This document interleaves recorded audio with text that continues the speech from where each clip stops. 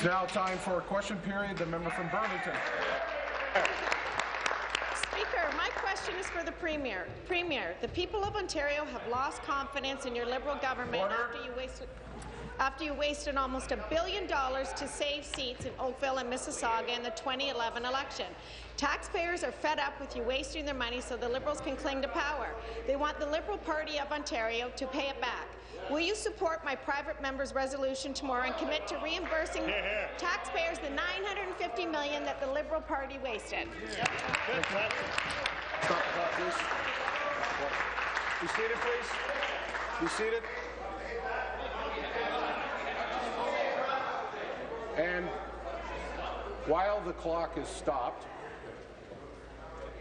I don't normally do this, but I'm blanket telling you that I will be tough today. And if you don't get the message, you'll get it quick. Premier? Thank you very much, Mr. Speaker. And um, you know, I I, uh, I believe that the um, the question is in the context of all of the issues that have been raised uh, as a result of the relocation of the gas plants, Mr. Speaker. And those those questions have been raised repeatedly at the committee. We have sent tens of thousands of documents, uh, sheets of paper, and documents to the uh, committee, Mr. Speaker. We broadened the scope of the committee so all those questions could be asked. I think that there is a uh, much better understanding of uh, of what happened as a, as a result or in the process of moving those gas plants, Mr. Speaker, something that we all in this House agreed needed to happen. I have said repeatedly that there were decisions made that, uh, that shouldn't have been made. And, Mr. Speaker, what's really important is that as Answer. we go forward, we have in, in place a process that will ensure that this will not happen again, and that's what we're doing, Mr. Speaker. Supplementary. Saying sorry doesn't fix the problem because now we've moved on to Pan Am. But nevertheless, Premier, you signed the cabinet document authorizing the plant cancellation and you served as co-chair of the campaign that made the decision.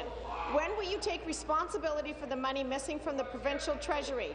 This is the money that the Auditor General said didn't to need order. to be spent. Saying sorry just is not enough. You need to pay back the money that you owe the taxpayers. You need to stop using taxpayers as a personal ATM. Will you reimburse the hundreds of millions of dollars that you owe the Ontario people? Be seated, please. Be seated, please. Thank you.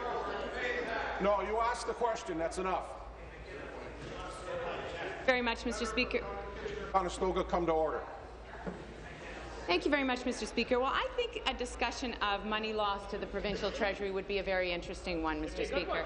So if we look at uh, an asset like the 407, Mr. Speaker, I can remember I can remember when I was campaigning in 2003, I met a former employee of the of MTO, Mr. Speaker, and uh, he said to me, you know, the $3 billion that was paid for that for the 407 was a fraction of what that asset was worth, Mr. Speaker. So there are billions of dollars at the outset that probably should have been paid, that that was a fire sale, Mr. Speaker.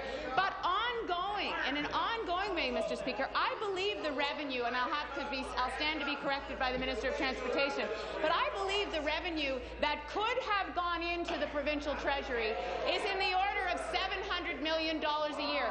That goes into a private Mr. Speaker, because of a fire sale that was uh, that was made by the party opposite, Mr. Speaker. That's Thank you. Final supplementary. You keep looking at the past because it doesn't want you to deal with the future. And I was just asked this question. Am I trying to bankrupt the Liberal Party? Well, you bankrupt Ontario taxpayers. Your Premier, grandchild. it's, it's your job as the government of Ontario to put the interests of the people of this province first. You failed to do that. We are calling on you to finally do the right thing. It's time the people of this province saw that the money would be returned. As the saying goes, if you can't do the time, don't do the crime. Your government spent $950 million for... Uh, thank you. I know what I'm doing. I'm not liking the tone of that particular issue, and I would ask the member to withdraw. And I'm going to tell everybody I don't like that tone about uh, crime and criminality. Carry on and withdraw, please. Withdraw. Now it's time for the government to take responsibility for its actions. Premier, will you acknowledge your mistake in taking that money from taxpayers and pay it back to the Treasury? Good question. Thank you very much. Stop the clock, please. Stop the clock, please. You seated, please. You seated, please. Premier. Thank you very much, Mr. Speaker. Well, as I have said, uh, we've had many, many opportunities to talk about uh, these issues at the committee, and that uh, that discussion is ongoing. But I think that, and the member for Member from uh, Renfrew, come to order. Renfrew Nipissing Pembroke uh, says that people don't care about what happened 10 years ago. But I can tell you, Mr. Speaker, if the revenues that I spoke to on the, the 407 were continuing to come into the provincial treasury, that would be billions of dollars that we would have as a government and as a, a legislature that we could spend on services. I, I guess the question to the member opposite would be, Will the party opposite find a way to pay back the billions on the 407, the hundreds of millions on the Eglinton subway, Mr. Speaker, the stranded hydro debt, Mr. Speaker? So I think that the member opposite understands that that is foregone revenue from the provincial treasury, and I would like to know what her leader would say about those debts, Mr. Speaker. Thank you. New question, the member from Nepean Carleton. Thanks, uh, Speaker. Back to the Premier, and uh, I obviously want to congratulate her and Jane for birth their first grandchild. That's exciting. And I was third. Oh, sorry. Okay, grandson, first grandson. That's uh, fantastic. And hopefully he'll be wearing some Tory blue today. uh, Speaker, uh, I'd like to go back on this matter of the gas plants because it is clear that there's no confidence left in the government's handling of the energy file. In the last two weeks alone, the auditor confirmed they blew $1.1 billion in canceling gas plants. Then they canceled $181 million worth of nuclear reactors. Then the OEB raised hydro rates, and then the 402 was shut down by angry Ontarians and rural communities who are opposed to this wind turbine development scheme. So if their energy policy wasn't in shambles two weeks ago, it certainly is now. There is zero credibility left. So Question. if you won't support my colleague from Burlington in her effort to get you to pay back that $950 million, will you be at least honest with the taxpayers of this province when they open their energy bill? Thank you. Thank you very much, Mr. Speaker. Well, I know the uh, uh, the Minister of Energy will want to speak to this, but I, I want to just I want to just talk because this this notion about the 180 million dollars that has been spent on uh, on getting ready for a, a new nuclear spend, Mr. Speaker. I just want to be clear about what that 180 million dollars was for, because I think people need to know that. So the Ontario Power Generation um, invested 180 million dollars in environmental approvals, Mr. Speaker, in project planning, public and stakeholder consultations around a new potential a potential new build. All of the OPG's expenditures related to the new uh, nuclear planning, they were reviewed by the Ontario Energy Board, Mr. Speaker, which is an independent semi-judicial agency, as the uh, as the member opposite knows, and those those uh, expenses were posted publicly on their website. And much of what OPG has invested Answer. can be repurposed for the future if and when the province decides to move ahead. So, Mr. Speaker, that is lo not lost money. That is money you. that is bought information. Thank you. Supplementary. I don't think that helps the, the Premier escape the fact the last two weeks in the energy file have been absolutely disastrous and has had a major impact on the ratepayers across this province. We know that she was in the middle of a series of very bad decisions, Speaker, with respect to the Oakville gas plants. And it doesn't matter how many panels that she creates for so-called quote-unquote open government. Everyone knows that she signed the cabinet document to cancel that power plant. Everyone knows that she was the campaign chair to make that decision. And now everyone knows because of the Deputy Minister of Energy that she knew well before she was quoting the 33 to 40 million dollar cancellation fee, it would be upwards of 750 million or more. So if her party will not pay back the funds that they stole from the taxpayers in this province, the only thing that she can do now is actually tell Ontario taxpayers exactly how much it's costing Thank you. them. House Leader. Member House Leader. Mr. Speaker, we have been we have been asking now for several months for the Progressive Conservative Party to come forward with its costing uh, when it campaigned so aggressively for the cancellation of both these plants. Now, Mr. Speaker, they have not been forthcoming, but Mayor Rob Burton of uh, Oakville put something on his website. I'd like to quote. You want to hear this? This is a quote from his website. It's called The Timeline. It's uh, on September 25, 2011. PC leader Tim Hudak says the Oakville power plant cancellation cost $1 billion and suggests the Mississauga power plant cancellation may cost another billion. On October 5, 2011, you want to hear this, on the day before the provincial election in front of the still under construction Mississauga power plant, PC leader Tim. Hudak promises to stop the power plant if he wins the election after only days before warning that he's sure it may cost another billion. Thank you. Final supplementary. very much, Speaker. I'd like to go back to the Premier. It's really nice for the government House Leader to try and get up and talk about something that really doesn't matter. It doesn't matter. It doesn't matter because I'll tell you something, Speaker. It was their government that cancelled the gas plant. It was their government that relocated to Napanee, and it was their government who cost taxpayers in this province $1.1 billion. Back to the Premier. It's clear government either doesn't know or doesn't care how much ratepayers are being charged for these disastrous scandals of the past two weeks. They are making policy decisions up by the fly. It is not in the best interest of our energy sector, nor is it in the best interest of the people who are paying for it across the province. If she can't tell us what that bill means and what the people of this province are paying when they open their hydro bill, when they open their natural gas bill across the province, she's not doing her job or she's incompetent. Question. Perhaps it's both. Will she actually ask the Auditor General to open up the books since she simply won't you. do it? Mr. Speaker, Mr. Speaker, you know the member can can can shout and scream and put on all the dramatics she wants, but she cannot deny the fact that it was the leader of her party who stood up and said that if he was elected premier of this province, the Mississauga power plant, in his words, would be done, done, done. Mr. Speaker, we have heard for months and months this criticism from them that somehow the decision that we took, the same one they promised, has been the worst thing to befall civilization. Well, it's time they came clean, Mr. Speaker. It's time they allowed their candidates to come before the committee and talk about their costing, talk about their analysis, and talk about why Tim Hudak, after admitting it would cost a billion dollars, went in front of... Uh, I do object. Sit down. The member is asked, as all members are, to use the title or to use the uh, writing. Please, you have 10 minutes to wrap up. Mr. Speaker, it's time they come clean why their leader stood after admitting it would cost a billion dollars in his estimate and explain their Thank costing and explain why they made the Thank you. exact same promise. No question. The Leader of the Third Party. Thank you, Speaker. My question is for the Premier. Ontario families are paying the highest electricity bills in Canada. They've seen this government spend over a billion dollars cancelling power plants and at least $180 million for a nuclear expansion scheme that the government now admits is too expensive to carry forward. Can the Premier tell us what contracts have been signed in regards to the refurbishment of the nuclear plant at Darlington?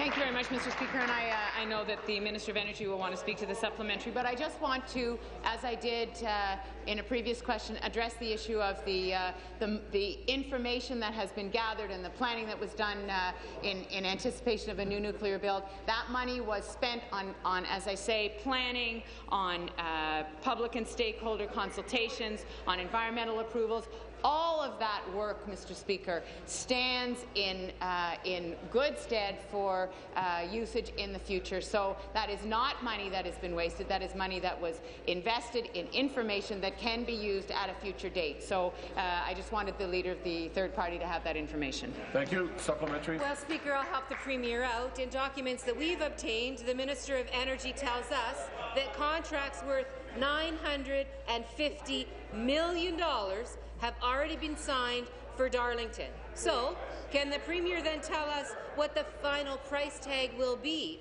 for this project? Wow. Premier.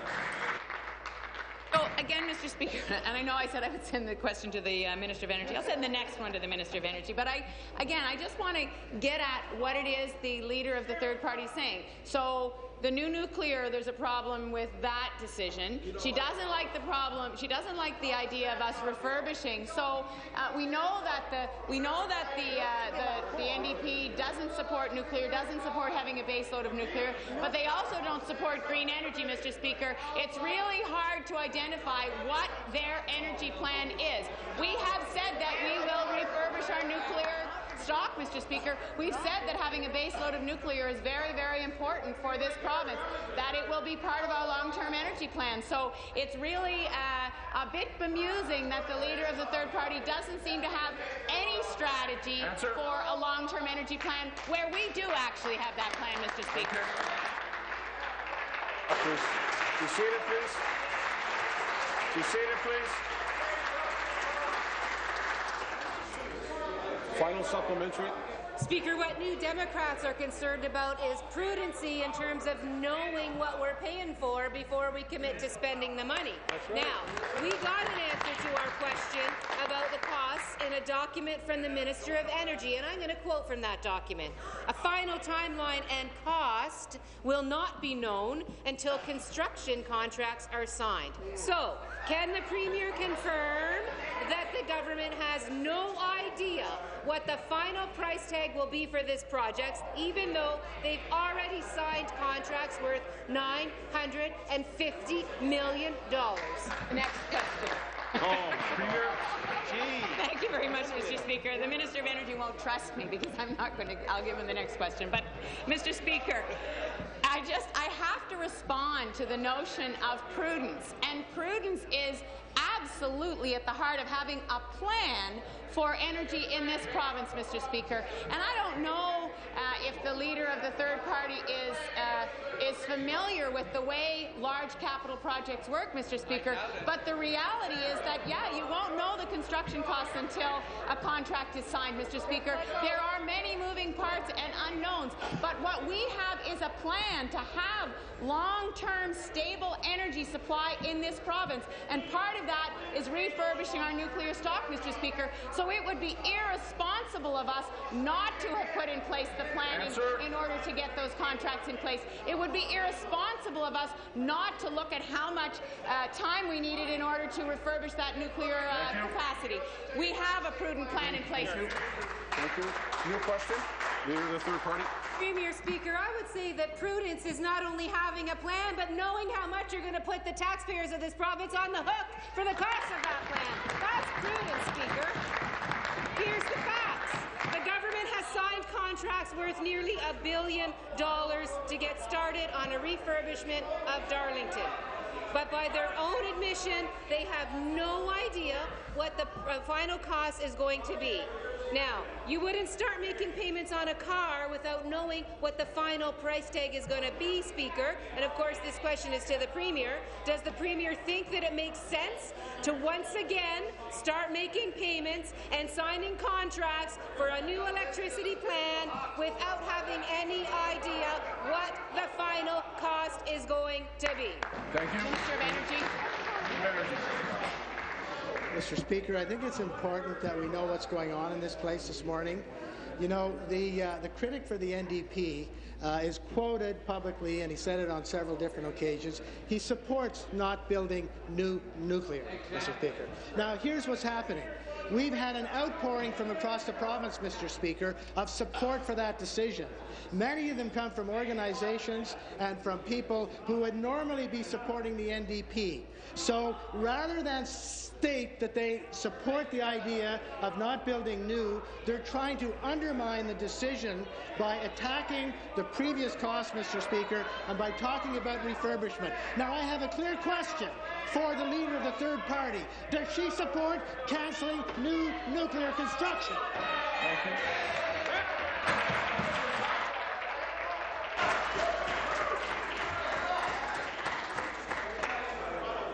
Order, please. Order, please. I don't get things quiet so other people can add their two cents worth. That includes the member from Cambridge, who, if I ask him to go to his chair, then I could ask him to stop. Well, gee, Speaker, if the Liberals had listened to the New Democrats for the last 10 years, we wouldn't have wasted $180 million on planning for nuclear plants that we're not going to build. Now, this all sounds very familiar to the people of Ontario, Speaker. Two years ago, the Premier was signing documents that ended up giving away the farm to private power companies costing Ontarians $1.1 billion. Now we find out that the government has signed off on another billion dollars in contracts to refurbish the Darlington, Darlington nuclear plant, but has no idea how high that price tag is going to be. Now, what does the Premier have to say to people who fear that she hasn't learned a thing from the gas plant fiasco, Speaker? Thank you. Minister of Energy. Mr. Speaker, I take her answer to say yes, she supports not building new nuclear. She knew the costs that were out there. Why did she support cancelling new nuclear? She's done and saying exactly what we're doing, Mr. Speaker. Now she's upset that the people in her party, the organizations that she thinks are the exclusive possession of the NDP, are very, very vocal in supporting the initiative we've taken. Mr. Speaker, the OPG has been very responsible in how it's been dealing with the nuclear issue.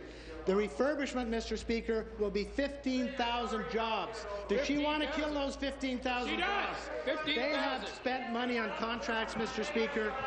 They have they have done environmental assessment.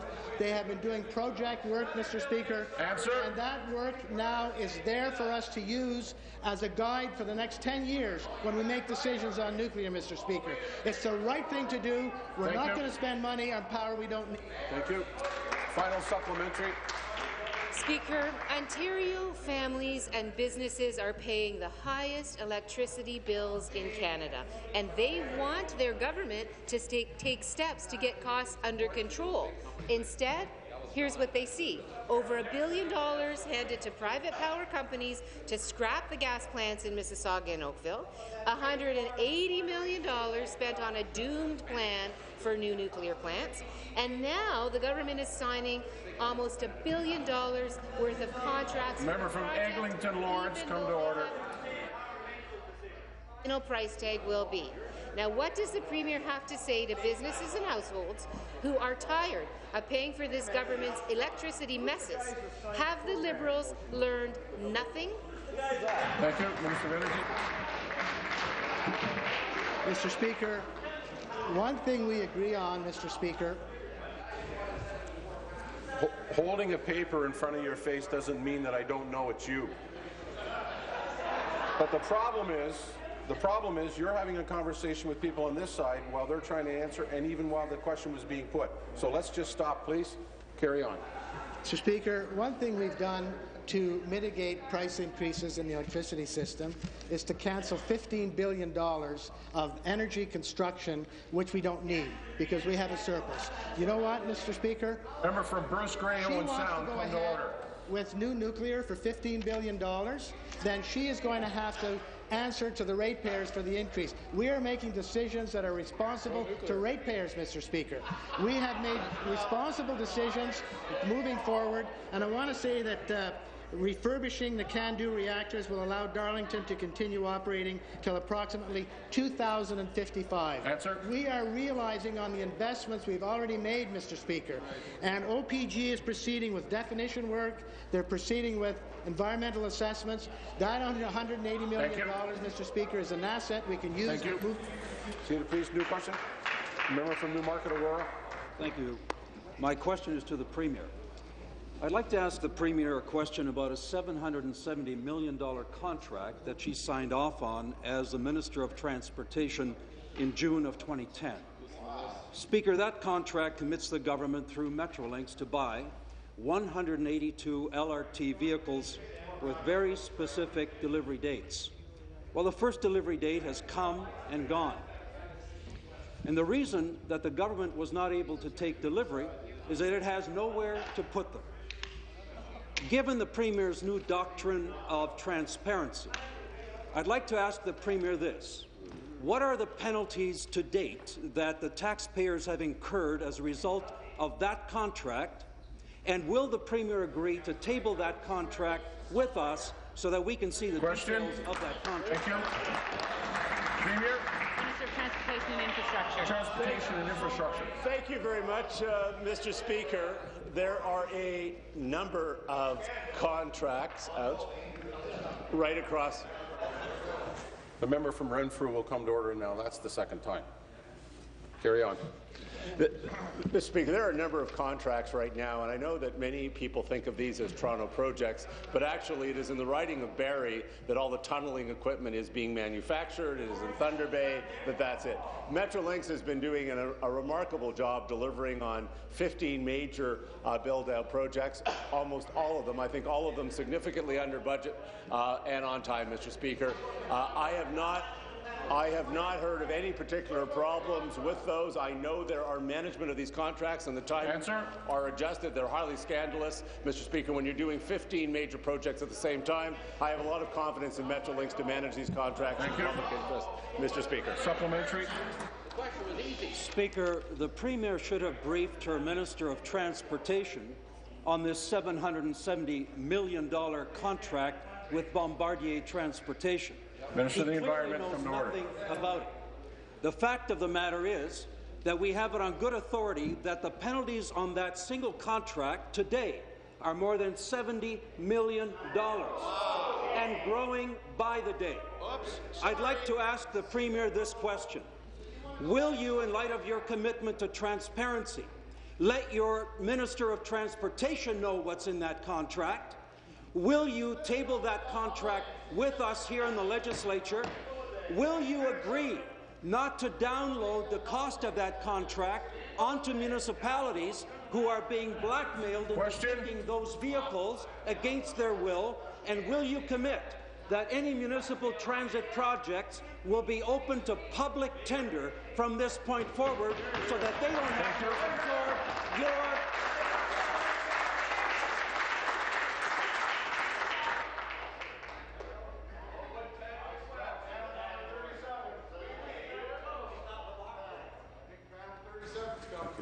Thank you.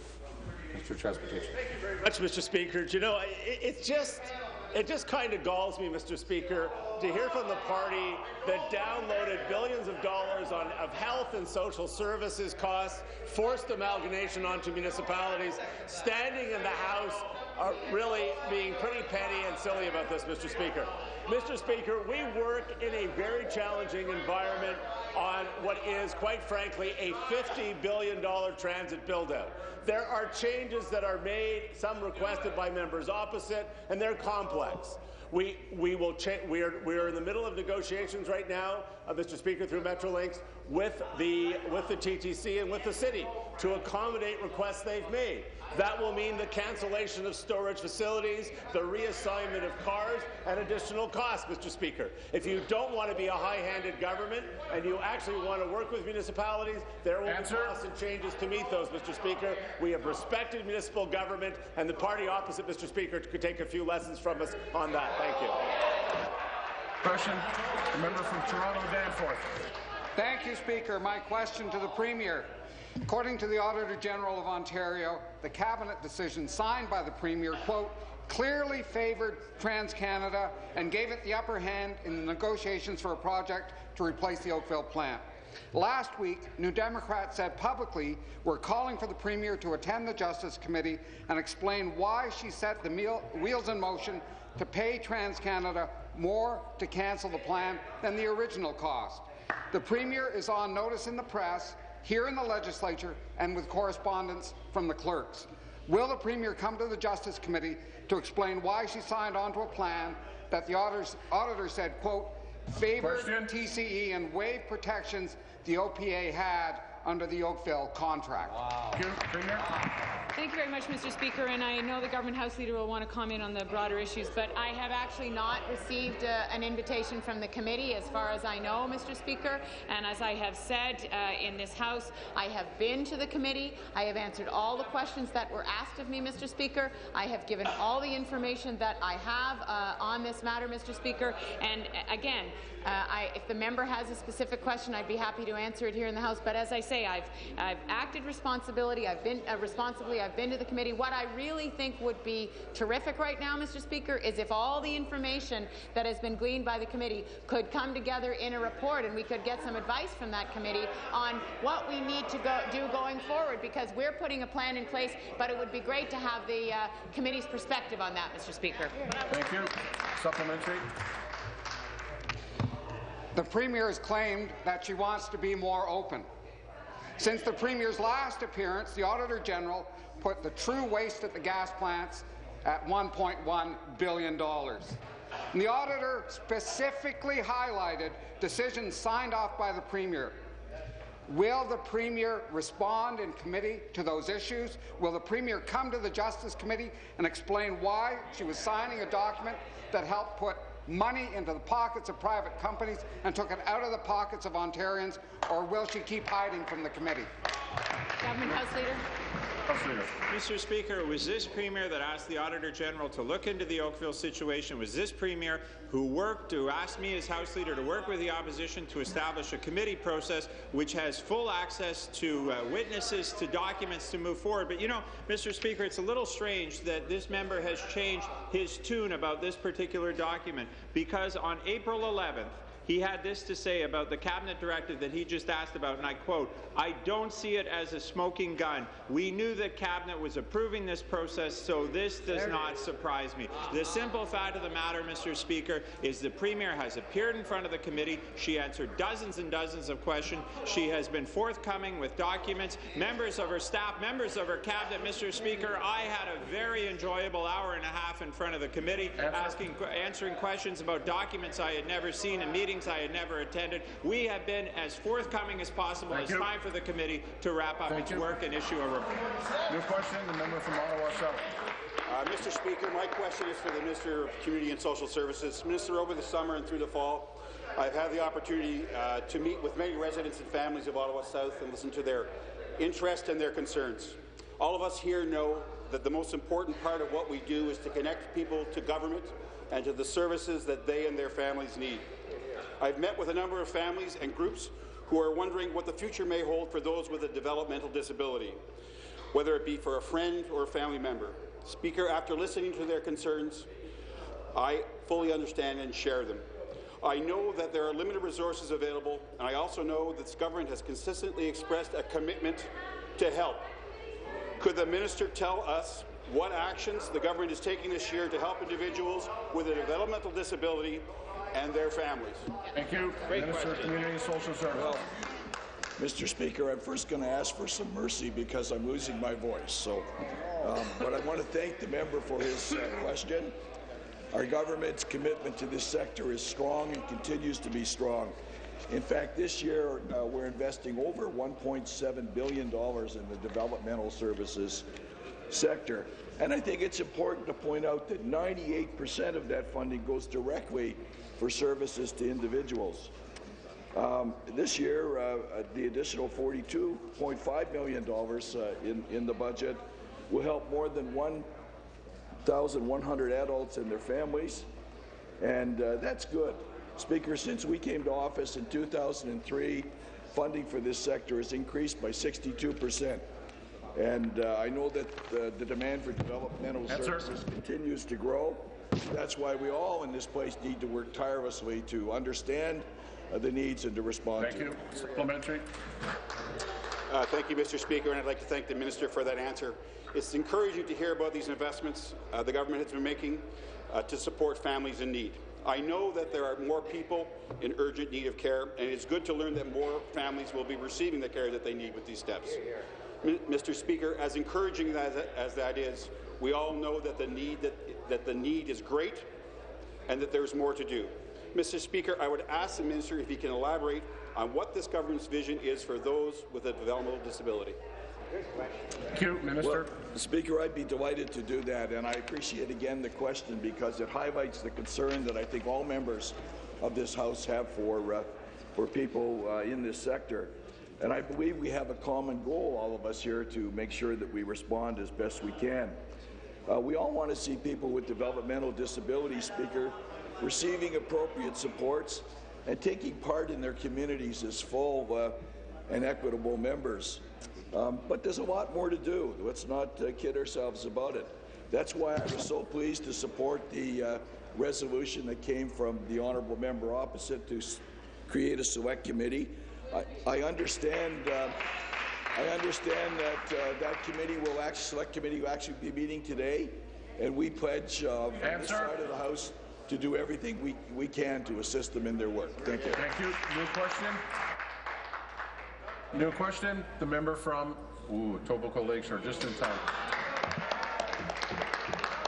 Uh, Mr. Speaker, my question is for the Premier. Uh, Premier, yesterday we discussed the fact that you had 36 uh, consultation groups uh, since since you've uh, taken over nine nine months ago. You had any yesterday? Well, um, in the course of that, I had some some questions from people about why are conservatives involved in some of these groups, and of course the obvious answer to that is that they, they give credibility to it.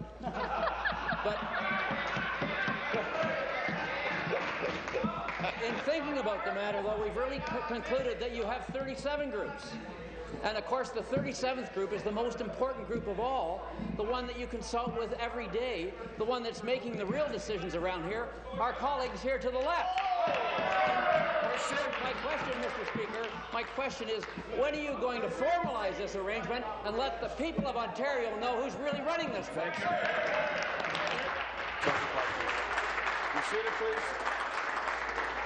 Be seated, please. Thank you.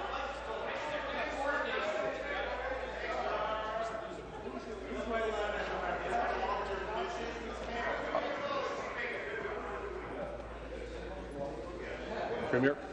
Yeah. Thank you very much. Well, as, as, the Minister of Municipal Affairs and Housing says, it's sort of hard to know where to start in answering that question. But, Mr. Speaker, I think I'll start here, and that is that uh, as I said yesterday, we are a government who believes that it is better to talk to people who know, who have expertise, who are able to give us advice on uh, a range of subjects, Mr. Speaker. I really believe that that is how good decisions are made. And I will just, uh, I will just paint a picture. And again, it goes back to a time that I know the member opposite remembers when it was impossible to get a meeting with a minister, Mr. Speaker. I remember during the uh, the discussions around amalgamation, I tried to have a meeting meeting with the, uh, the minister of the time, Al Leach, and his doors were locked. His people wouldn't answer our calls. We couldn't get a meeting with him, Mr. Speaker, to talk about amalgamation. I remember answer. being a school trustee, Mr. Speaker, not being able to get a meeting to talk about amalgamation of school boards. Thank That's you. not how we operate. That's how they operate, Thank Mr. You. Speaker. Supplementary. Supplementary, Mr. Speaker. Uh, Mr. Speaker, this again is to the Premier. It's very easy to try to offset blame by blaming somebody else and bringing up examples of things that you think happened many, many years ago. But the fact is, right in this very House this morning, we had the perfect example of open and transparent. MPP Klees asked you and your minister for some information on a contract, and he got a bunch of gobbledygook and no answer whatsoever. Now, what in the world's going on? The residents of, of Ontario are entitled to an answer. We're entitled to an answer. When are you going to become open and transparent? Seated, please. Be seated, please. Thank you. Premier. Much, Mr. Speaker. Well, and I, you know, I'm not going to say it's a good question, but I am I'm glad that the member opposite has asked this question, Mr. Speaker, because obviously, if there is a question about a specific issue and we don't have the specific information about that contract, we will get we will get that information for the member opposite, Mr. Speaker. That is how it works.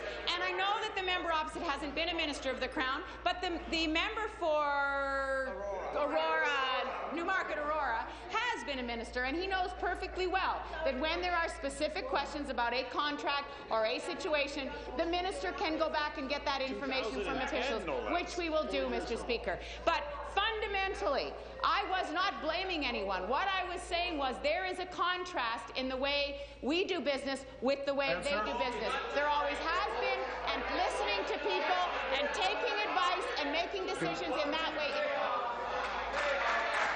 Order. New question. Member from Timmins James Bay.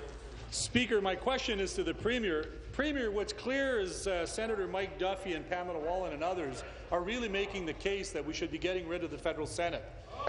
Your, oh, I, I like that.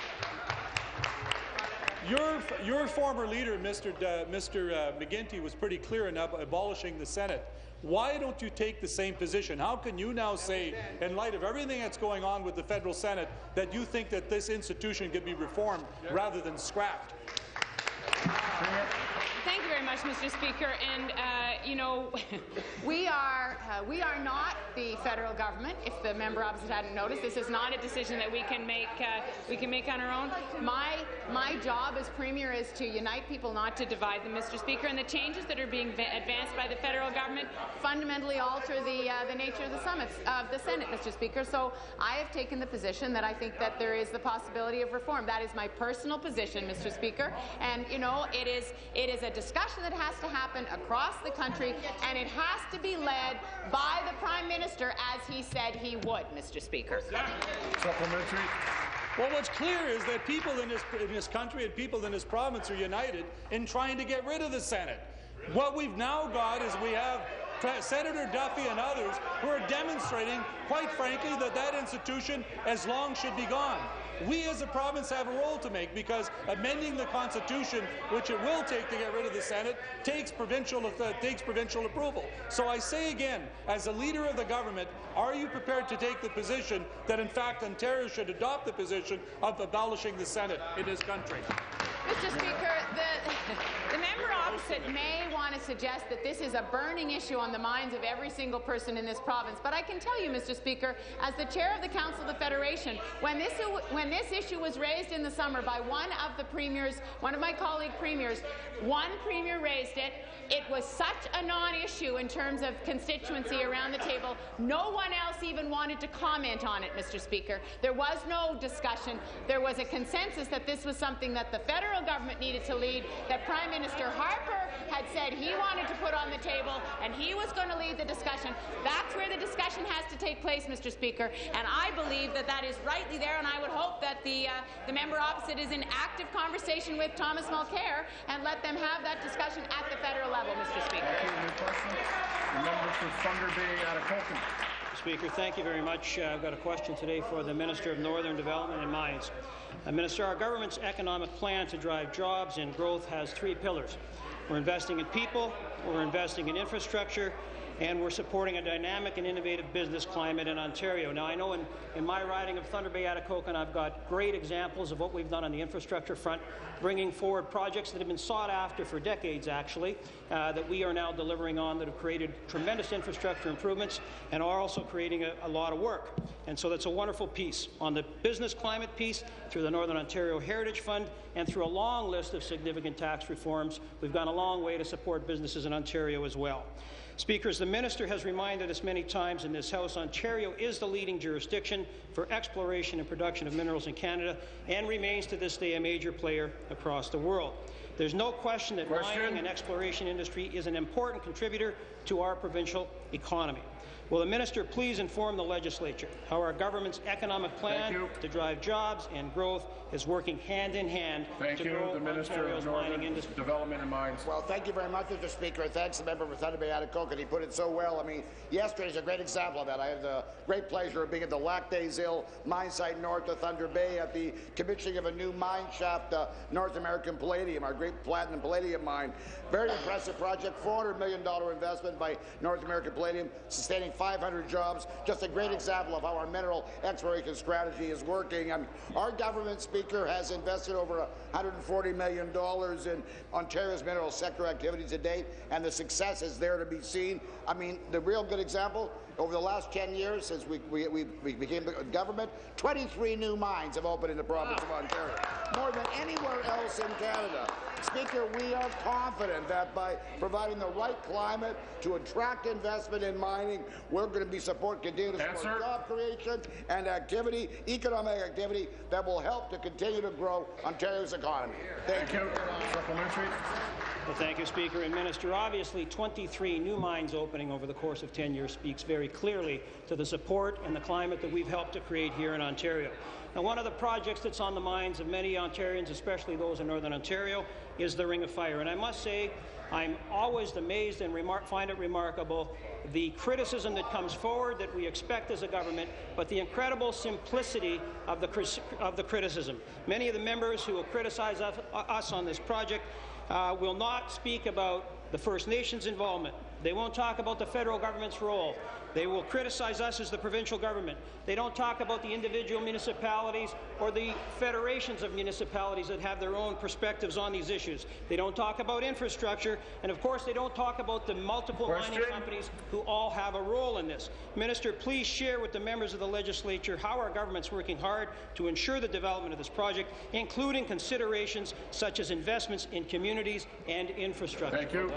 It really is a great question. Thanks so very much uh, to the member of Thunder Bay Atikokan. Uh, the truth is, he's given a great example of just how complex it is to realize the economic potential of this extraordinary opportunity. I mean, we, we know a number of things. We know that in order for community to take advantage of this tremendous opportunity, they need to be ready, and that's the kind of work that's underway in our ministry. Mentioned the work we're doing with the Matawa, Matawa First Nations on a historic framework uh, agreement and community readiness strategies for communities such as Thunder Bay and Greenstone, which will ultimately be the transportation hub for the Ring of Fire. I mean, I want to encourage all members to speak to us about the work that we're doing because indeed that's going forward in a positive way. We're having discussions with all interested companies, Speaker. Those discussions obviously include important infrastructure links. We recognize how important infrastructure is. You've got to be able to have obviously access to the product. You've got to have access to It's key. Let me tell you this. We are assessing uh, a number of options that will see the greatest benefit for Ontarians. We're looking at those. Thank you. What's the most beneficial and appropriate role Thank you. for the pro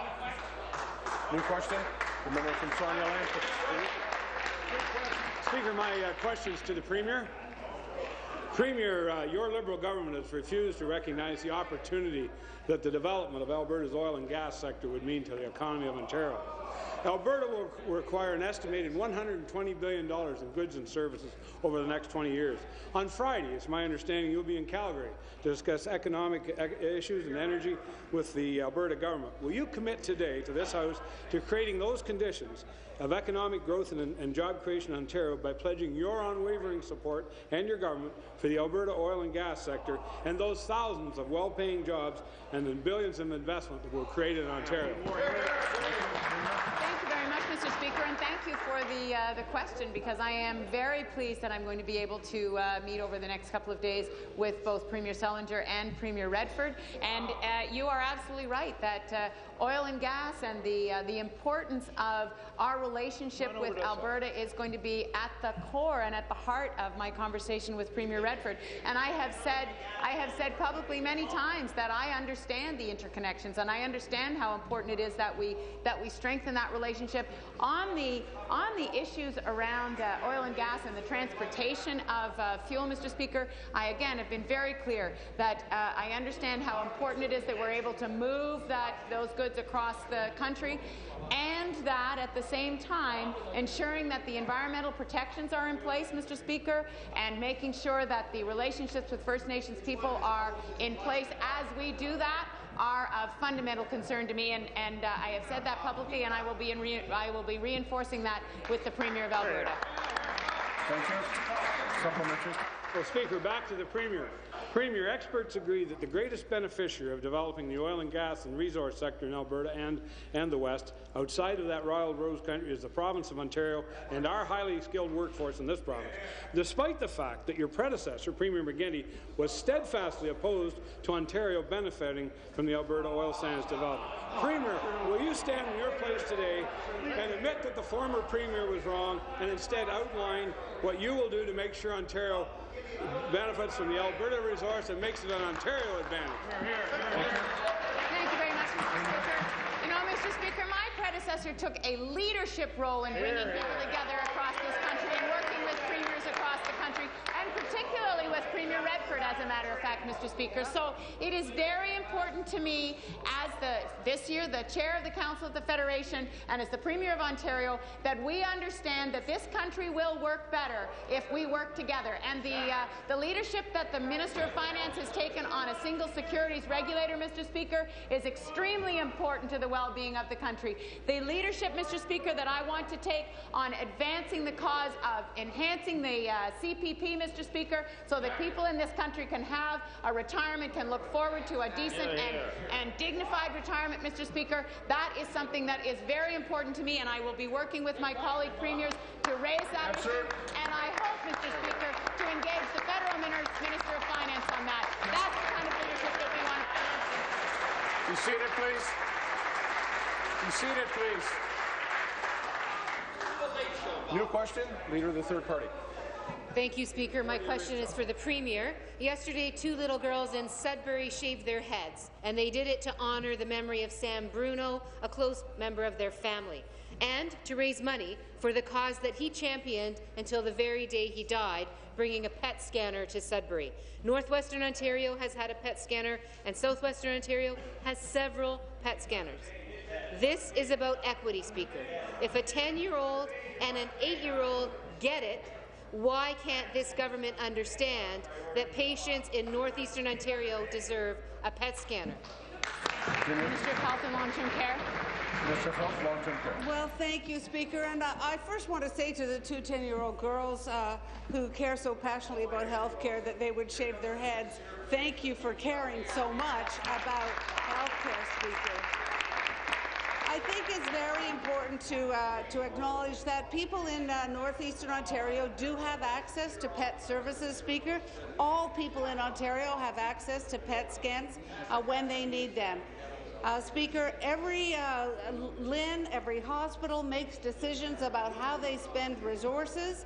Uh, the issue of whether or not a PET scanner is required in northeastern Ontario is a decision that uh, uh, is of the, that LHIN and of the hospital speaker. So what's important to me is that people get access to the care, and we know, Speaker, that in northeastern Ontario, this been a, a, a request. I know the member from Nickel Belt has talked about this. But, Speaker, we must be very um, uh, careful about Thank how you. we spend the health care dollars. Thank you. Well, Speaker, perhaps the Minister of Health needs to be reminded that the LHIN and all of the hospitals have actually requested the PET scanner be brought to this part of the province. PET scanners can help very sick patients, Speaker. They give doctors a special set of eyes that can help determine a course of treatment. Anyone who has supported a loved one suffering from cancer knows that getting them out of bed and into a car is hard enough never mind transporting them hundreds of kilometres away for a test. Now, there's no doubt that PET scanners are expensive, Speaker, but the community is doing its part to offset the costs. In fact, they're holding another fundraiser tomorrow night. Now, if this government can blow more than a billion dollars of public money on moving gas plants around in southern Ontario, why can't it spare some change, Speaker, to bring a PET scanner to Sudbury? Thank you. Minister of Health. Uh, well, Speaker, it's, it's disappointing, frankly, to hear the, the leader of the third party talk about the costs about operating a PET scanner as, as loose change, Speaker, because PET scanners are very expensive machines. Operating them is a very costly uh, undertaking. So it's important that we're smart about where we locate PET scanners. And I take issue, Speaker, uh, to the best of my knowledge, neither the LHIN nor the hospital agrees that a PET scanner is the priority investment right now. Uh, Speaker, I have not had an up-to-date uh, an update on that in the last uh, few months. Uh, if that has changed, I will happily correct my record. But my understanding is that that is not a priority for the hospital or for the LHIN at this time. Thank you. Question, the member from Ottawa, Orleans. Thank you, Speaker. My question is for the Minister of Energy. Speaker, protecting the health and environment of Ontarians has been a priority for me as long as I have been a member of this legislature. So I was proud when our government committed in 2003 to eliminating the use of coal-fired generation in the province. Eliminating the use of dirty coal is providing numerous and significant benefits to the people of Ontario. For one, it's going to mean cleaner air for people in all parts of the province and less Ontarians suffering from air pollution-related diseases. Mr. Speaker, I understand that this morning the Minister of Energy announced an update on the progress of our government's initiative to get off coal. Could you please share with the House the progress that we have made on this important initiative, Mr. Minister? Thank you. Minister of Energy. Speaker, I thank the member from uh, Ottawa Orleans for his uh, question. And Speaker, it was my pleasure to announce this morning that the Lambton Generating Station has burned its last coal. This, this leaves Nanticoke Generating Station slated to close at the end of this year. Using my time. Now I'm going to have to talk more quickly. this leaves Nanticoke Generating Station slated to close at the end of this year as the last operating coal-fired facility in southern Ontario. Ontario is now on track to become the first jurisdiction in North America to totally eliminate coal-fired generation. Getting off coal is going to save our healthcare system $4.4 billion in avoided healthcare costs. and it's going to lower Ontario's carbon emissions by over 30 megatons. That megatons. Mr. Speaker, that's like taking Yes, 7 sir. million cars off the road. 7 million. Today, we have Canada's most modern electricity system, its most advanced smart grid, and a diverse and reliable supply of clean and renewable energy. Thank you. Supplementary. Thank you, uh, thank you to the Minister of the, uh, for the update. I believe that this makes Ontario a global leader in clean energy initiatives. Along with improving the health of Ontarians and reducing healthcare costs by reducing illnesses from pollution, I understand getting off coal also represents one of the largest climate change initiatives in all of North America. And as the minister mentioned, it means massive reduction in the climate change causing emissions that our uh, province produces. This is especially important as the carbon content of our atmosphere moves beyond the 400 parts per million this year. All this adds up to a substantial improvement in both the health and the environment for the province. Mr. Speaker, I believe that Ontario's efforts to get off coal have made it a global leader in clean energy. Can the minister please tell the House how this government's initiative compares with the efforts of other jurisdictions to decrease their dependence on dirty coal? Thank you. Minister. Mr. Speaker, getting off coal is the single largest climate change initiative in North America. And don't just take it from me, Mr. Speaker. Listen to what the Federal Minister of Foreign Affairs, John Baird, said earlier this year. Oh, John. I'm quoting, we're the only country in the world that's committed to getting out of the dirty coal electricity generation business. If the federal Conservatives can support our efforts to stop burning coal, Mr. Speaker, why can't their counterparts at Queen's Park understand the importance of this initiative? Maybe it's because when the PC party was last in office, the use of dirty coal grew by 127 percent. Oh, say it isn't so. Our efforts to get off dirty coal are making Ontario a healthier place to live. And we think it's time the opposition joined their federal colleagues and supported a cleaner, Thank you. healthier Ontario. Join with Speaker. Prime Minister Harper. New question, the member from Haliburton, Kawartha Lake Brock. Thank you, Mr. Speaker. And my question is to the Premier. Uh, more than 20 years ago, a group of peaceful, respectful people, known as the Buddhist Association of Canada's Cham Shan Temple, toured the township of Cavan Monaghan in the area of what would now become City of Kawartha Lakes. They purchased land for its beautiful scenery and peacefulness. Their $40 million plan was to build a picturesque retreat that would include replicas of the four great Buddhist mountain sites of China. It would include a restaurant, gift shop, and accommodations. This peaceful operation has the potential to bring in millions of dollars in tourism revenue for the area. But the proposed wind farms call for at least four industrial wind turbines to be built right beside them and would ruin the tranquil scenery and harm the peacefulness of this retreat. So, Premier, will the Buddhist dream be gone with the wind? Thank you. Minister of Energy. Mr. Speaker, I appreciate uh, the question from the member. Uh, I have not personally, or I don't believe my office has heard from this particular group, and I certainly would uh, be uh, welcome to uh, uh, to invite them into my office, Mr. Speaker, and have a conversation member with from them. Huron but I have to say, to Mr. Speaker, that we have taken some very, very significant decisions in how to properly site our energy infrastructure. But the issue is, Mr. Speaker, and I put this to the member very, very clearly, there's an existing wind contract, and I'm asking her whether or not her leader supports cancelling existing wind contracts. Thank you. Thank you, uh, Minister, because they have asked to have a meeting with you and have not had any acknowledgement of that, so I'll be taking that back to you. But it is alarming to me that the Liberal government will go to any length for their own self-interest, even if it means ruining a legitimate project on land purchased more than 20 years ago. The government wants to allow its own interests to prevent millions of dollars being spent in a region that has high unemployment and in desperate need of jobs. The Buddhist Association of Canada is a peaceful group of people who want to run something that will be spiritually, economically, and visually pleasing for people. Minister Chan has visited the site and is in support. So the local councils of Kawartha Lakes and Cavan Monaghan, they've done their part by voting down proposed wind turbines. I ask the Premier again if she will put an end to this issue and stop forcing wind turbines on our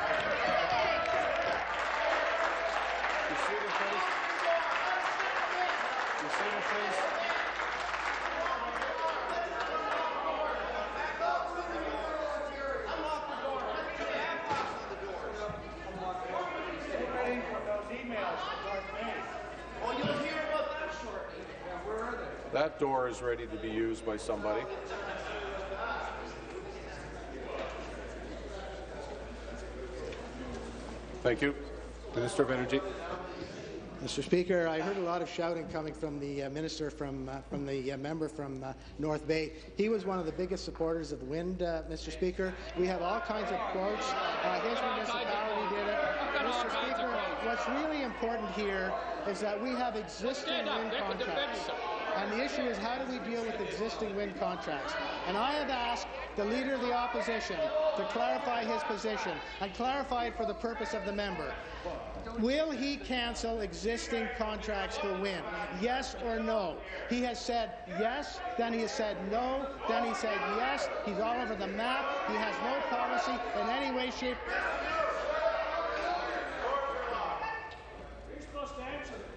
And you're supposed to stop when I stand. New question. The member from Timiskaming. Thank you. My question is to the Minister of Natural Resources. More than 78,000 young Ontarians have participated in the Ranger program since 1944. The unique part of this program is it places 17-year-olds to work in parts of our great province far from their homes. The program built awareness, job skills, and an overall appreciation of the diversity of our great province in yesterday's and today's leaders. But sadly, not tomorrow's, because the Liberal government cut the program. Today we'll present a petition with over 6,000 signatures to save the program. Will the government listen and commit to reinstating the full Ranger program and give young people a chance of a lifetime? Minister Northern. Thank, thank you, Speaker, and I uh, certainly appreciate the question from the member opposite on this uh, very important issue. I'm very pleased that in our ministry we continue to be the top employer of young people in the government, 1,974 jobs through the Ministry of Natural Resources. Hear, hear. That continues to remain the same despite the financial challenges that we have as a government, which I think speaks to the Premier's commitment and our government's commitment to helping to support opportunities for young people in the province of Ontario. In fact, with the change of the Youth Ranger program to a day-based program, we've added 17 additional locations across the province of Ontario. We've gone from 13 locations in Ontario to 30 locations in Ontario. In fact, there are three in the members riding opposite, which provide fantastic opportunities for young people in the province of Ontario. Thank you. Supplementary. From Algoma, Manitoulin. Thank you, Mr. Speaker. My question is to the Minister. Uh, Speaker, in my youth, I was fortunate to have participated in the Ranger program for two years. I learned and accomplished real tasks that, to a great extent, have shaped and made me who I am today. But now the MNR budget is being cut, parks are being closed, and the young people are not getting the opportunity to explore and learn. Will this government commit to reinstating the Ranger program and not deny our youth this invaluable experience? Speaker, you know, I appreciate hearing that from the member opposite, the member opposite is well aware that there are about 74,000 alumni of the program throughout the province who are very active and, and certainly appreciate the experiences that they've been able to gain. And that is why, despite the incredible financial pressure that we're facing in our ministry and across the government, we have maintained this program in a way that continues to bring these opportunities to young people right across Ontario. In fact, we've enhanced the locations in the province by uh, adding 17 more locations in Ontario that will allow young people to gain these opportunities, uh, and we're committed to ensuring that this program is one that continues uh, in the future, Speaker. Thank you.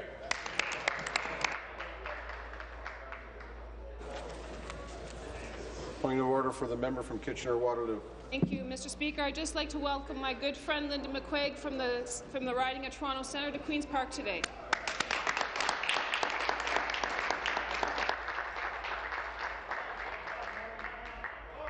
The uh, member from Nipissing. Point of order, Point of Speaker. order. I'm not sure whether to challenge the uh, the uh, energy minister for his uh, comment, or, but I will make a point of order on the comment made by the environment minister. He talked about the privacy commissioner. Uh, the privacy commissioner ruled. I found that.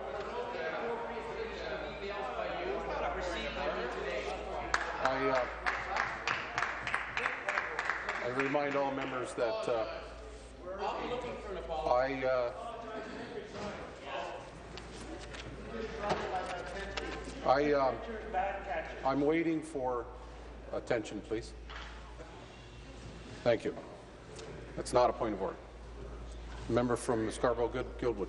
Point of order, Mr. Speaker. I'd like to welcome to the House today my brother, Andrew Hunter. He spent the last 10 years uh, playing international basketball over 40 countries, has recently graduated with his MBA, and will be starting his business career in St. Thomas, Ontario.